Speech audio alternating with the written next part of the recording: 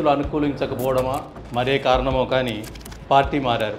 So ఆ రోజు నేను బయటకు వస్తున్న సందర్భంగా చెప్పిన మాటని కేసీఆర్ గారు ఒకవేళ విని ఉంటే ఈరోజు టీఆర్ఎస్ పార్టీకి ఆ దుస్థితి వచ్చేది.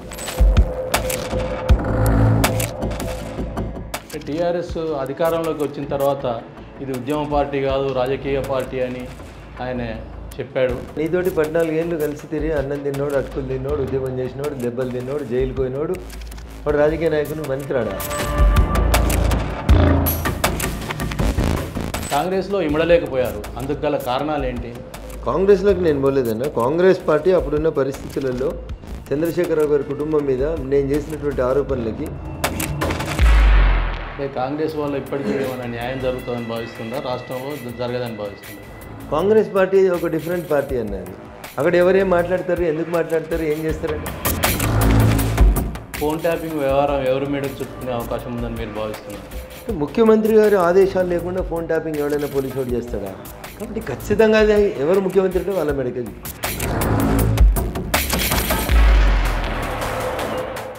మెదక్ లోక్సభ అభ్యర్థి బీజేపీ పార్టీకి చెందిన మాధవనేని రఘునందన్ రావు గురించి తెలియని వారు ఉండరు ఆయన ఒకప్పుడు పటంచెరు ఈనాడు విలేకరిగా తర్వాత న్యాయవాదిగా పనిచేసి గుర్తింపు పొందారు. దుబ్బాక ఎమ్మెల్యేగా చరిత్ర సృష్టించారు. ఆయన పనిచేసే రీతులు విధానాలు ఇతరుల కంటే భిన్నంగా ఉంటాయి. ఎక్కువగా టీవీ ఛానల్స్ ఇంటర్వ్యూలలో బాగా కనిపిస్తుంటారు. జనంలో తిరిగే వ్యక్తి జనంలో మెసిలే వ్యక్తి జనం కోసం పనిచేస్తానంటున్న వ్యక్తి. ఆయన మన కోసం ఇస్తున్న ఇంటర్వ్యూ కోసం వచ్చారు. నమస్కారం. నమస్తే. మీరు పటంచెరు ఈనాడు విలేకరిగా న్యాయవాదిగా పనిచేస్తున్నప్పుడు అనుభవాలు ఈ రాజకీయానికి ఏమైనా ఉపయోగపడుతున్నాయా? తప్పకుండా అంజన ఎందుకంటే పునాదిరాలు అవే కదా. ఇలా నేను ఈ స్థాయికి వచ్చినా అంటే ఆ రోజు ఈనాడులో పనిచేసినప్పుడు సమాజం పట్ల సంస్థ ద్వారా నేర్చుకున్నటువంటి వివిధ విషయాలు.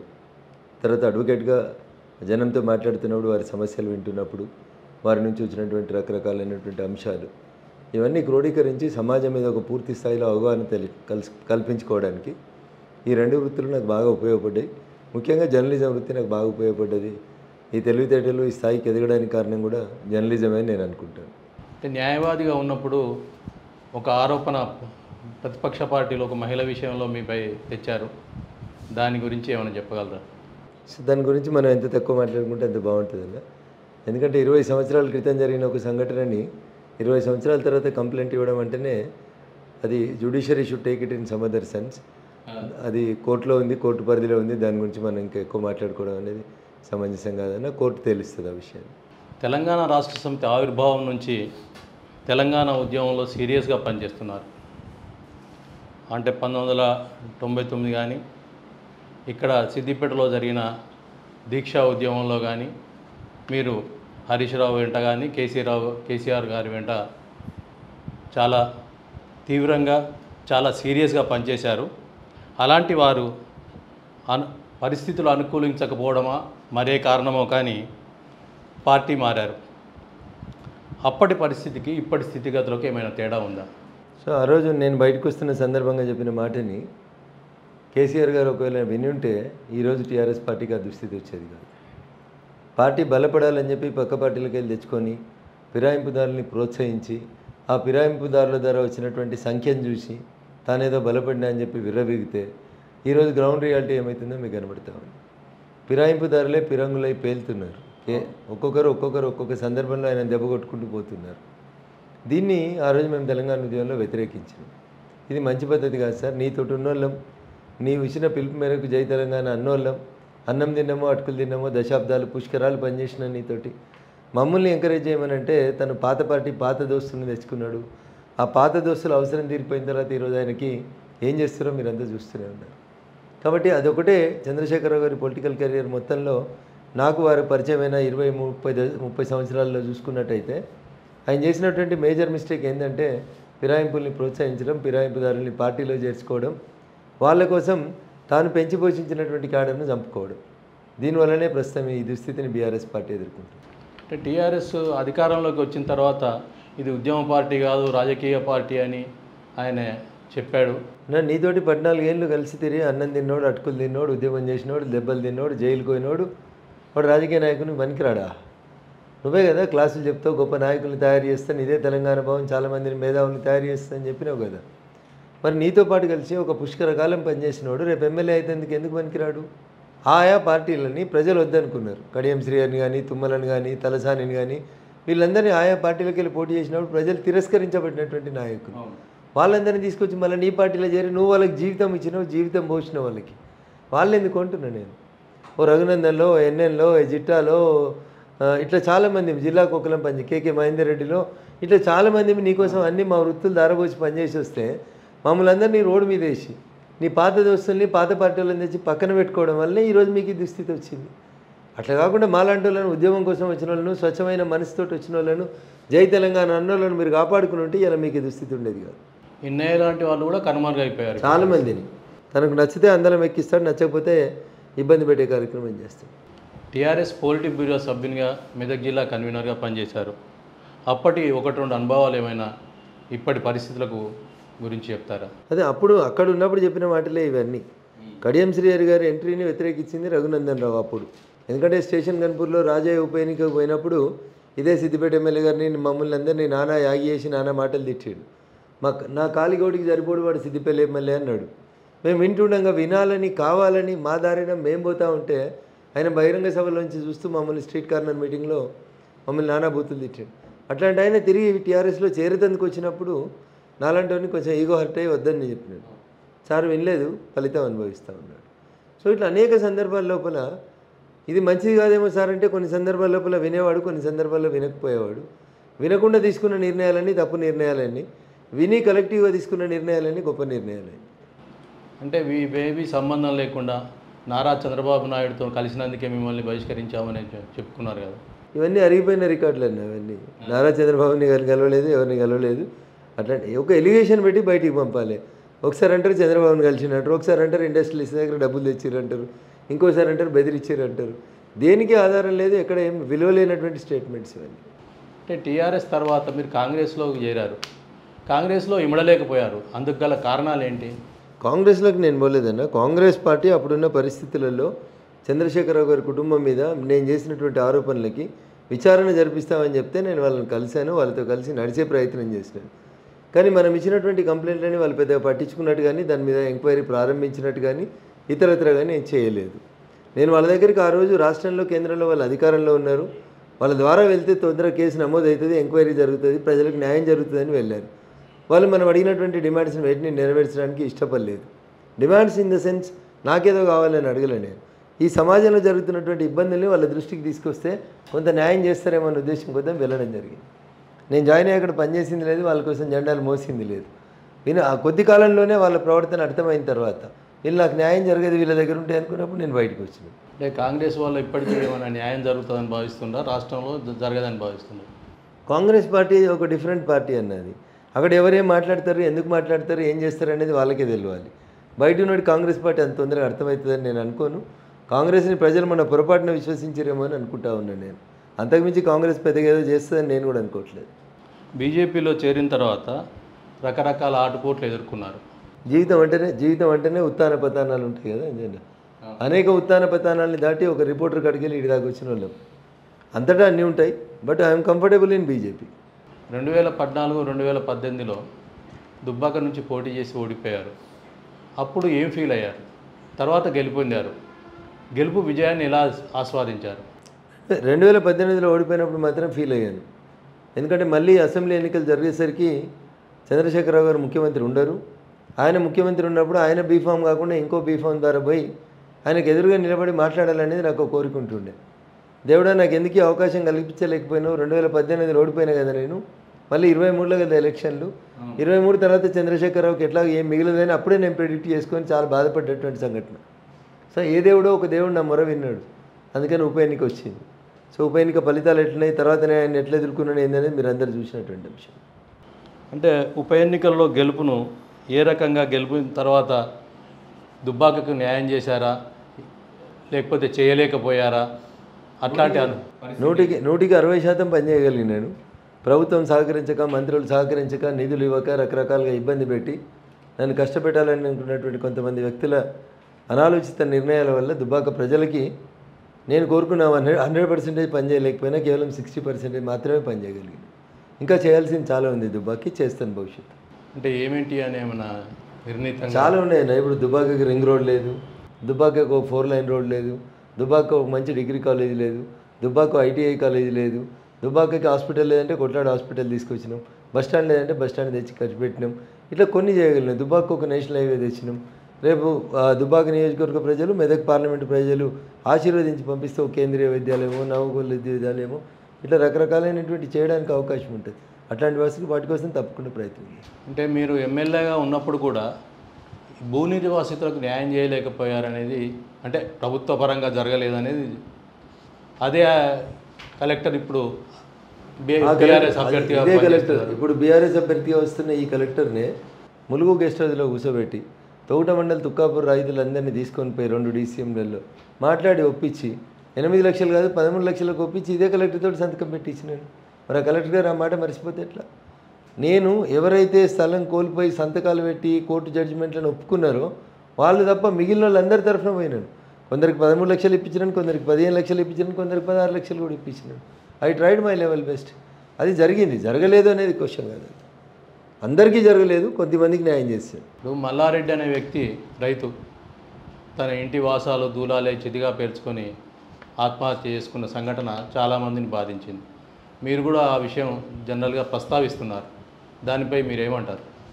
సి ఎవరైనా తన ఇంటి మీద తన తల్లిదండ్రులు కట్టినటువంటి ఇంటి మీద పెంచుకున్న మమకారం ఎంత గొప్పదో మల్లారెడ్డి గారి సంఘటన రుజువు చేస్తుంది. మానవత్వం ఉన్న ప్రతి మనిషి కంట కన్నీరు పెట్టి ఇచ్చేటువంటి సంఘటన. తన ఇంటి దూలాలని వాసాలని తీసుకొని తానే చితి పేర్చుకొని తన చితి మీద తనే పడుకొని పెట్రోల్ పోసుకొని అంటించుకున్నాడు అంటే ఆ మనిషి ఎంత మానసిక సంఘర్షణకు గురైన అనేది ఒకసారి కలెక్టర్గా ఆ రోజు వెంకటరామరెడ్డి గారు ఆలోచిస్తే బాగుంటుంది ఏం ఆలోచించకుండా జనం చేస్తూ ఉంటే కంపెనీలు కట్టినాం లేదా పరిశ్రమలు కట్టినాం లేదా మేము ప్రాజెక్టులు కట్టేందుకు భూములు తీసుకున్నాం. ప్రాజెక్టులు కట్టేందుకు భూమి తీసుకోవద్దంటే వారు రఘునందన్ దేశాలు ఎవరు కట్టలేదు ఆ ప్రాజెక్టులు. ఇక మొదటిసారి చంద్రశేఖరరావు ప్రాజెక్టులు కట్టిండా. ప్రాజెక్టులు కట్టిన ప్రతి చోట ఇట్లా రైతులు ఆత్మహత్య చేసుకురా అర్ధరాత్రి పూట రైతుల్ని ఇల్లు ఖాళీ చేయించిర్రా పోలీసులను పోలీసు వాళ్ళని పెట్టి. చాలా విషయాల గురించి మాట్లాడాల్సి ఉంటుంది. కాబట్టి వెంకటరామరెడ్డి గారు కలెక్టర్గా పనిచేసినప్పుడు మల్లన్న సాగర్ విషయంలో రైతుల పట్ల రైతన్నల పట్ల అయిన ప్రవర్తన అనేది బాధాకరం దుర్మార్గమైనటువంటి ప్రవర్తన సభ్య సమాజం అంతా కూడా దాన్ని వ్యతిరేకించాల్సినటువంటి సందర్భం భూని భూ నిర్వాసితులకు పూర్తిగా న్యాయం చేసినా అని ఆయన చెప్తున్నాడు మరి. న్యాయం అంటే ఏందన్న? ఆయన న్యాయం చేస్తే మళ్ళీ నేను అసెంబ్లీలో అడిగిన కదా చంద్రశేఖరరావు గారు అనే ముఖ్యమంత్రి గారు నిలబెట్టి సిద్దిపేట కొందరు ఎందుకు ఇస్తావు? దుబ్బాకి కొందరు ధరిస్తావు? గజ్వేల్కి ఎందుకు ధరిస్తావు? సార్ అని అడిగితే బరాబర్ గట్లే ఇస్తా అన్నాడు ఆయన. ఇంత మొండిగా మాట్లాడాడు. మరి కలెక్టర్గా నువ్వేం చేసినావు? చేయలేదు కదా రూపాయి ఇప్పేయలే కదా. నేను కొట్లాడితేనే నాలుగు రూపాయలు వచ్చినాయి వాళ్ళకి. అంతకుమించి నువ్వేం చేసింది లేదు. అందుకని వెంకటరామరెడ్డి గారి వల్లనే నష్టపోయింది ఈ మూడు నియోజకవర్గాలు అనేది నా భావన. ఈ భూ నిర్వాసితుల కోసం కట్టిన ఇండ్లు కూడా నాసిరకంగా ఉన్నాయని ఆరోపణలు తరచుగా వచ్చాయి. కొన్ని గోడలు కూలిపోవడం అట్లాంటివి. అవి ఎప్పుడైనా సందర్శించారా? వాటి పరిస్థితి ఏంటి? యా ఇన్సిడెంట్ జరిగినప్పుడు వెళ్ళామని అప్పుడు.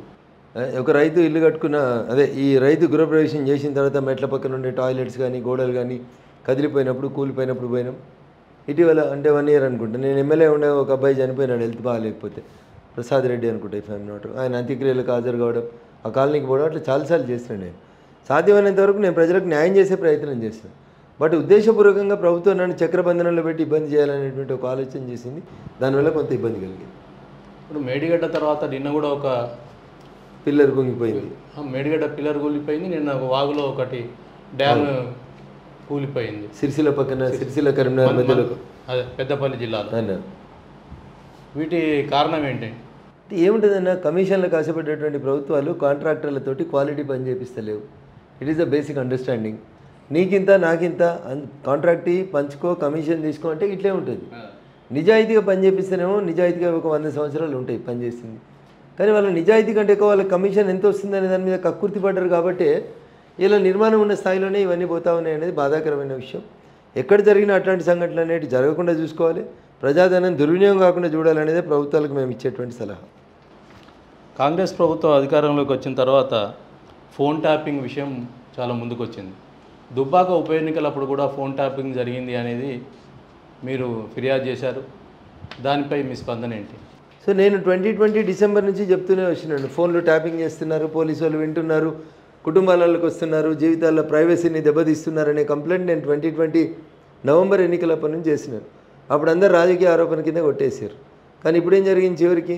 అప్పటి నుంచి రఘునందన్ ఆరోపించింది నిజమని ఇప్పుడు ప్రజలు ఒప్పుకున్నారు పోలీసులు కూడా ఒప్పుకోవాల్సినటువంటి పరిస్థితి వచ్చింది. వ్యక్తుల వ్యక్తిగత జీవితాలకు పోయేటువంటి అధికారం ఏ ప్రభుత్వానికి ఉండదు. ఆర్టికల్ పంతొమ్మిది ఇచ్చినటువంటి freedom of freedom of life freedom of స్వేచ్ఛ వీటన్నింటిని హరించేసినట్టే కదన్నా? మీరు మీ శ్రీమతి మాట్లాడుకునే ఫోన్ వింటున్నారంటే ఇంతకంటే దుర్మార్గం ఏముంటుంది? అసలు వ్యక్తులకు వ్యక్తిగత జీవితాలే ఉండయా సరే నీ కూతురు తిన్నావు నీ కొడుకు తిన్నావు నీ కోడలు తిన్నావు అది నీ దుర్మార్గమైన అలవాటు దానికి నేను ఏం చేయలేను. బట్ ఇదేంది? ప్రజల జీవితాల్లోకి చొరబడేటువంటి హక్కు నీకు ఎక్కడుంది అంటున్నా. కొన్ని కుటుంబాలు కూడా చిన్న భిన్నమైన ఆరోపణలు వచ్చాయి. వ్యక్తుల వ్యక్తిగత జీవితంలోకి వచ్చేటువంటి అధికారం ఇంకొకరికి లేదంజన నువ్వు ప్రధానమంత్రి అయినా ముఖ్యమంత్రి అయినా ఇంకెవరైనా. ఎస్ ఎప్పుడు వినొచ్చు ప్రభుత్వం అధికారికంగా?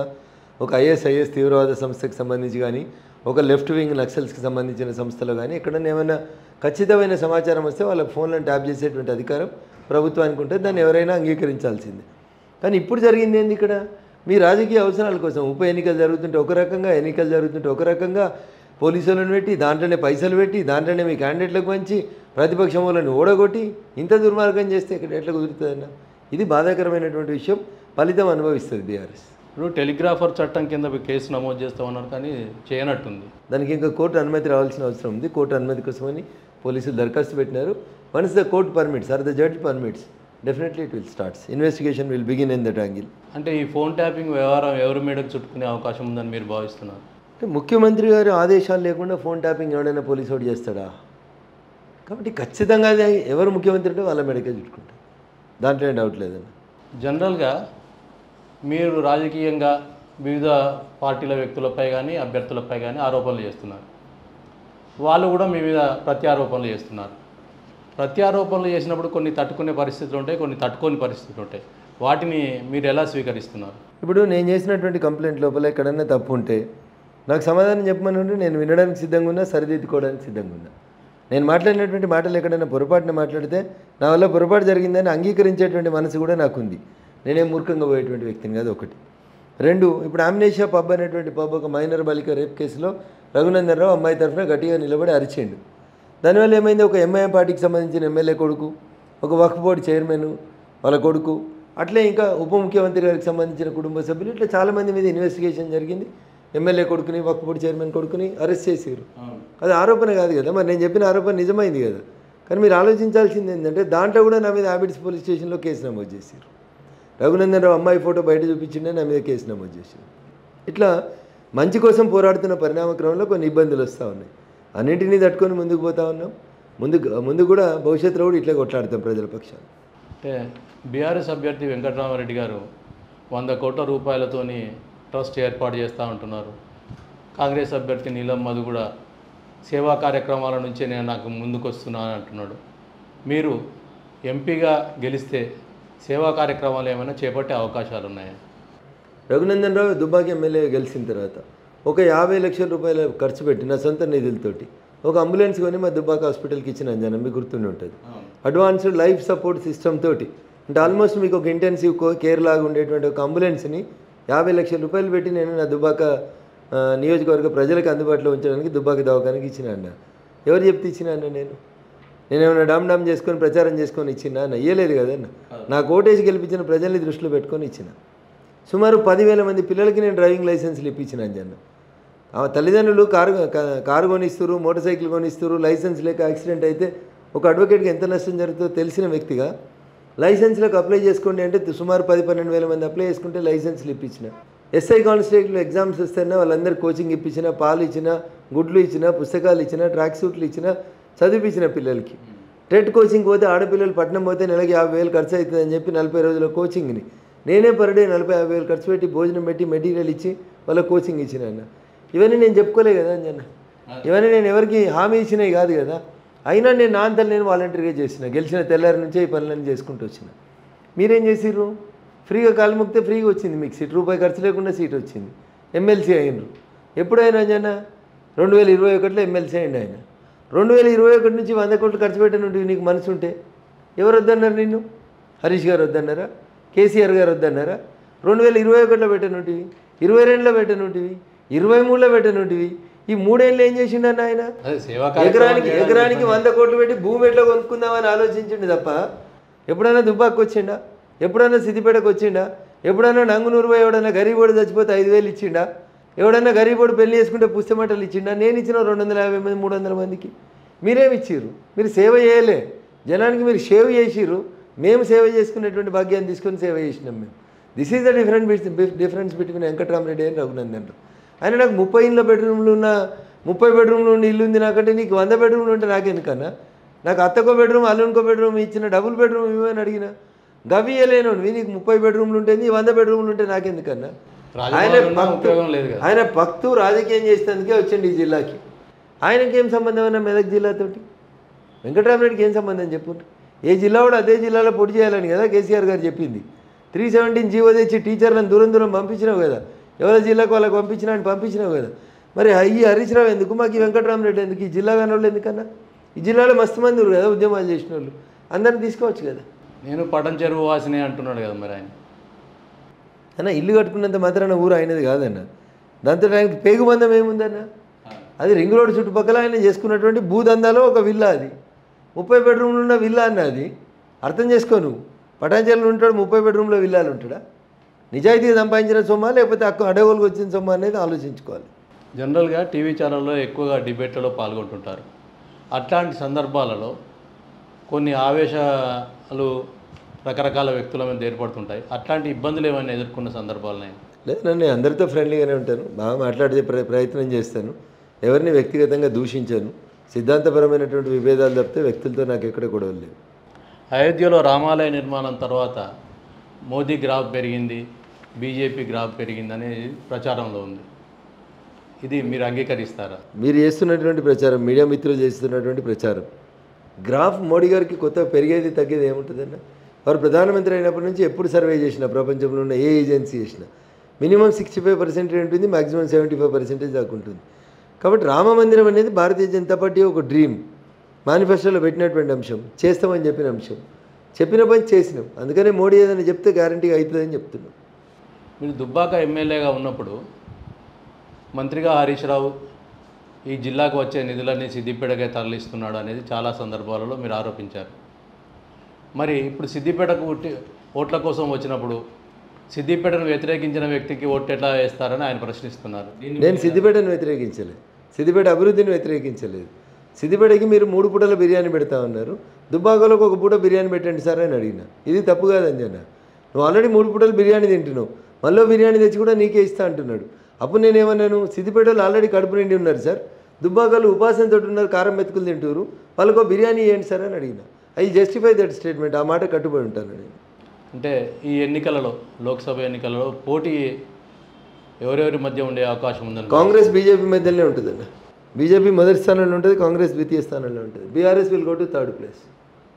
BRS అనేది పార్టీగా మారినప్పుడు తెలంగాణ ప్రజలతోటి పేగుబంధం తెంచుకుంది అయిపోయింది వాళ్ళ పని. లోక్సభ పరిధిలో ఏడు సెగ్మెంట్లు ఉన్నాయి. ఏడు సెగ్మెంట్లలో బీజేపీకి ఒక ఎమ్మెల్యే కూడా లేడు. కానీ గెలుపు అవకాశాలు ఎలా ఉన్నాయని భావిస్తున్నారు? కరీంనగర్ గెలవలేదన్న ఒక ఎమ్మెల్యే లేకుండా నిజామాబాద్లో కవిత ఓడిపోలేదన్న వాళ్ళు ఏడుగురు ఎమ్మెల్యేలు ఉంటాయి సికింద్రాబాద్లో కిషన్ రెడ్డి గారు గెలవలేదన్న ఏడుగురు ఎమ్మెల్యేలు మా వాళ్ళు కాకుండా ఇట్లా రకరకాల ఉదాహరణలు చెప్పడానికి అవకాశం ఉంటుంది. కాబట్టి రఘునందన్ రావు కూడా గెలుస్తుంది. జూన్ నాలుగున కమలం వికసిస్తుంది. ఆ వికసించబోయేటువంటి కమలం తెలంగాణలో కూడా వికసిస్తుంది. అందులో మెదక్ కూడా కమలమే వికసిస్తుంది. గెలిస్తే నియోజకవర్గ ప్రజలకు మీరు ఇచ్చే హామీలు ఏంటి అగ్రో బేస్డ్ ఇండస్ట్రీస్ని ఈక్వల్ డెవలప్మెంట్ని అన్ని కాన్స్టిట్యున్సీలలో తీసుకురావడానికి ప్రయత్నం చేస్తాం. ఉదాహరణకి పటాన్ చెరువు సంగారెడ్డి నర్సాపూర్ జిన్నారం బొల్లారం చూస్తే మొత్తం కాలుష్యంతో కొట్టుమిట్టాడుతుర్రన్న అదే సిద్దిపేట దుబాక గజ్వేలి ప్రాంతానికి వస్తే కంపెనీ లేక బాధపడుతున్నారు. కొన్ని అగ్రో బేస్డ్ కంపెనీస్ని ఈ ప్రాంతానికి షిఫ్ట్ చేసి కాలుష్యం లేకుండా వ్యవసాయానికి ఇబ్బంది కాకుండా ఇక్కడ కూడా ఉద్యోగ ఉపాధి అవకాశాలు కల్పించడానికి ప్రయత్నం చేస్తే బాగుంటుంది. జిల్లాను యాజ్ ఏ హోల్ యూనిట్గా తీసుకొని పెడితే బాగుంటాయి కంపెనీలు కానీ అందరు పోయి పటంచర్ల అందరు పోయి బిహెచ్ఎల్ పక్కన అందరు పోయి గచ్చిపోలు పెడితే మరి మిగతా ఏరియాలు ఎట్లా డెవలప్ అవుతాయి? So this is my concern మిగతా ఏరియాలు కూడా డెవలప్ కావాలని కోరుకుంటుంది ఆగ్రో బేస్డ్ వస్తే ఇబ్బంది లేదు కానీ కాలుష్య పరిశ్రమలు వస్తే ఇబ్బంది ఇబ్బంది కదా? పెద్ద మాసానిపల్లి అని మా దగ్గర ఒక విలేజ్ ఉంటుంది దుబాక్ పక్క అవును. ఓ కంపెనీ వాళ్ళు వచ్చి పబ్లిక్ హియరింగ్ పెడితే జనం టెంట్లు కుర్చీలు అన్ని తగలబెట్టేసి పంపించేసారు అన్న see that is the reaction of the public ప్రజాస్వామ్యంలో ప్రజలే న్యాయ నిర్ణేతలు అన్న వాళ్ళ నిర్ణయాన్ని కాదని మనం చేసేది ఏముంటుంది? ఏముండదు. ఫార్మా ఇండస్ట్రీలను ఎవరు కోరుకోవట్లేదు. దురదృష్టం అందరికీ రోగాలు ఉంటాయి అందరూ మందులు వాడతారు. కానీ మందులు చేసే తయారు తయారు చేసే కంపెనీలు మాత్రం మా ఊళ్ళో పెట్టొద్దని అందరు గొడవ చేస్తారు. అంటే కాలుష్యమే ప్రధాన కారణం కదా. Up to the up to the standards of pollution control board వాళ్ళు ప్రివెంటివ్ మెజర్స్ తీసుకుంటే ఈ దుస్థితి రాదు. తీసుకుంటలేరు కాబట్టి ప్రజల నుంచి రెసిస్టెన్స్ వస్తుంది. అది ఖచ్చితంగా రావాల్సిందే. ఈ ఎన్నికలలో మీరు గెలుస్తారని గెలుస్తారని ఆశిద్దాం? నూటికి నూరు శాతం గెలుస్తాను మీ అందరి సహకారం ఆశీస్సులతో. థ్యాంక్ యూ అన్న. ధన్యవాదాలు.